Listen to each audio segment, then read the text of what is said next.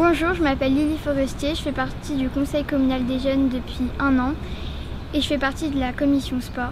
J'ai aidé à organiser le triado, le téléthon, la chasse aux œufs et encore plein d'autres projets.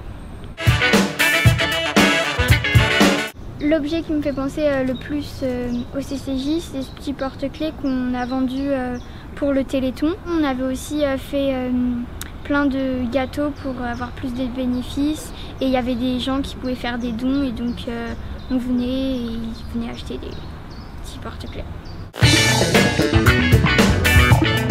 ce qui me motive à euh, refaire cette année le Conseil communal des jeunes, c'est que j'ai trouvé qu'il y avait une très bonne ambiance euh, au sein du coup du groupe et euh, c'est très amusant.